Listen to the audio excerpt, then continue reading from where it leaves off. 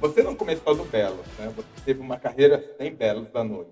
É, mas eu conheci o Belos da Noite é, bem no começo também. Eu Aham. comecei a dançar em 2012 e. 2012? É, 2012. Eu comecei a dançar mesmo nas baladas em 2013. Mas eu conheci o Belos da Noite bem cedo.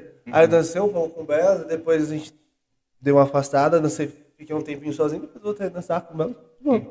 Mas eu, eu e o Belos da Noite tem uma ótima parceria. Trabalhar com eventos, vamos, falar- vamos falar assim, eventos. Vamos, colocar, vamos colocar tudo num balaio só. Trabalhar com eventos, às vezes as pessoas pensam que não é trabalho. Mas muito pelo contrário. Se trabalhar com eventos, a mesma coisa que trabalhar hoje na empresa. Por quê? Porque você tem um compromisso de horário, você tem um compromisso de vestimenta, você tem um compromisso de aparência. Entendeu? Então, tipo assim, é, é, pode tudo, é, tipo, é, uma- é aquela coisa. Não cobra nada, mas tem que entregar tudo. Então, para a pessoa trabalhar com eventos, ela tem que ter um perfil mais rígido. Pelo fato de não ter esse vínculo empregalístico, então tem que ter uma pessoa de um perfil mais rígido para cobrar essa Aham. entrega, entendeu? Acho que as pessoas às vezes confundem um pouco as coisas. Ô, É. Elton, só para finalizar, fala um pouquinho do, do seu OnlyFans, é, que você pegou dessa coisa do seu nome, né? O Elton Leite virou Senhor Leite, né? Virou Senhor Leite. Aí eu creio Meu nome é Wellington Leite mesmo, tá, pessoal? Não mudei meu nome, eu entrei. É o meu nome. é mesmo. E, isso é legal porque mostra isso que a gente está falando da valorização do Google Boy, que antigamente o povo inventava nome, inventava tudo com medo, com receio da repercussão que podia vir, né? Ah, nem, não, quando eu comecei a dançar, eu nem pensei nisso, pra falar a verdade. Não? Você teve problema com família? Imagina, eu sou família de evangélico. Meus pais são pastor, praticamente. Ah, é? Eu? Eu Gente, cresci na igreja, o, Lucas também problema. tem a mesma coisa, ele já veio dar aqui entrevista e falou também que a família dele é evangélica e, e aceitou bem. Aceitou bem, normal. normal. Isso aí, gente, porque é normal, é dançar, dançar. Até porque, o, o Anderson, eu tenho. Eu, como eu comecei a dançar muito novinho, eu trabalhava durante o dia. Hoje, eu trabalho durante o dia, tá, gente? Eu, tra- eu tra- trabalho na noite, no, final de semana eu faço show, mas também durante a semana também tenho meu trabalho. Então, eu sempre, eu sempre, tive, sempre tive dois empregos. Então, eu sempre fui, foi um paralelo do outro. Então, nunca ninguém falou nada pra mim, não. Eu ia te E eu sempre dividi muito bem as coisas. Eu ia te falar isso, porque hoje a gente estava ali nos bastidores brincando, né? E você falou, eu sou evangélico.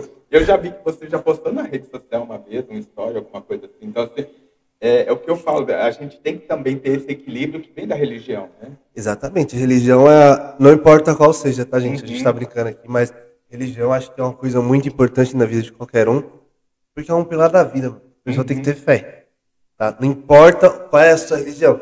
Você tem que ter fé, você tem que acreditar em alguém. Porque as coisas acontecem instante, toda hora. Então você tem que ter um apego superior com alguém. Eu Uhum. acho isso muito importante. Esse é o equilíbrio que vem, né? Esse é o equilíbrio que vem. Eu acho isso muito importante. E aí agora, a gente falando de religião, ia falar do seu OnlyFans, eu vou cortar. É, vamos, vamos voltar agora virando. Põe imagem dele dançando aí pra gente cortar o assunto.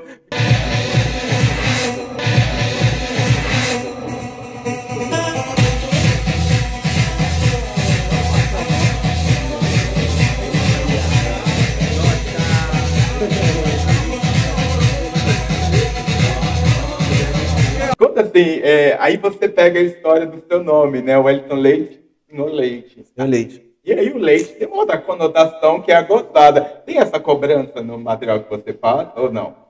Tem, tem sim. Eu entrego um material. Eu, gente, eu faço é, vídeo solo, tá? Eu não, não, tenho, não tenho vídeo meu transando no- nas plataformas. É porque eu sou casado. Uhum. Só, só entrego conteúdo solo, mas eu faço jus ao meu nome. Hum, eita, então é o senhor leite mesmo. É, eu faço jus ao meu nome. É, porque eu fico imaginando quando você fala, as pessoas já imaginam lá. É, porque quando a pessoa. É, leite, é né? assim, é, é até engraçado, porque a gente, quando a gente tá dançando, então você fala uma pessoa. Aí, eu não sei porquê, mas quando você fala do leite, as pessoas já olham assim. Leite, eu falo, é, gente, é meu sobrenome. Mas aí já associa uma coisa a outra, aí já viu.